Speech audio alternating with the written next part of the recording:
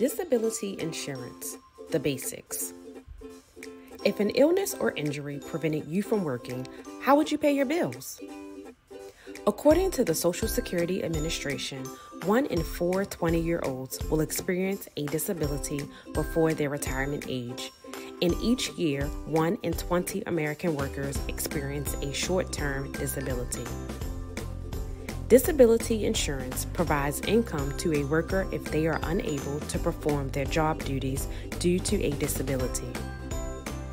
Many people think of severe injuries or a catastrophic health condition as the leading cause of disabilities.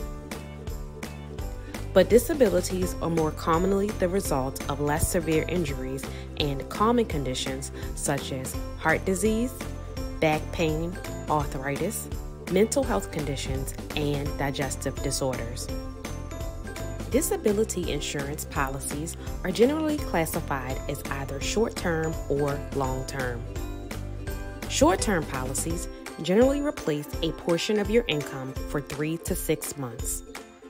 Long term policies typically begin after six months of disability and may last years if you continue to meet the definition of disability as outlined in your policy.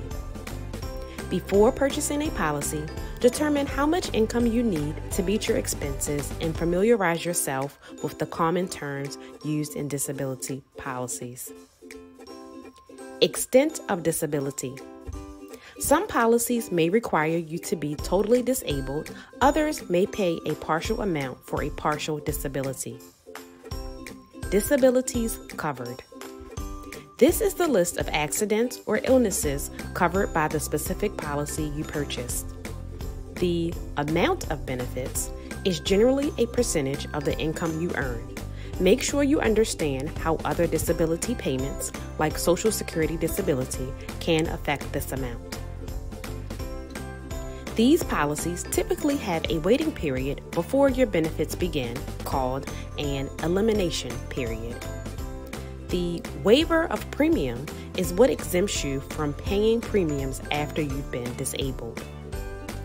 Own occupation or any occupation is how an insurer determines whether benefits are payable based on the job duties you can perform or if you can perform any work. Talk to an agent or an insurance company to understand disability insurance before you buy. Often, group disability policies are available through your employer, though they are likely not transferable after leaving your job for another. For additional information on disability insurance, please go to the Consumer tab at www.insurance.maryland.gov.